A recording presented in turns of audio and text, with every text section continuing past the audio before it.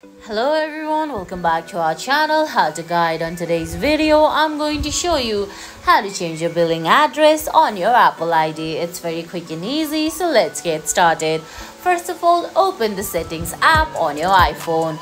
Once you do that, on a screen, the first option that you'll see is your name.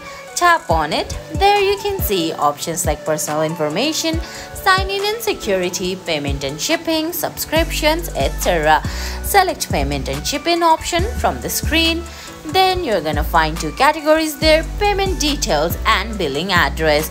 You're gonna have to select the billing address, tap on it, then go ahead, change the details, then tap on done from the top right corner. And guys, that's it. That's how you change your billing address on your Apple ID. I hope you found this video helpful. If you did, please give it a thumbs up, leave a comment, subscribe to our channel and hit that bell icon. See you in the next video. Thanks for watching.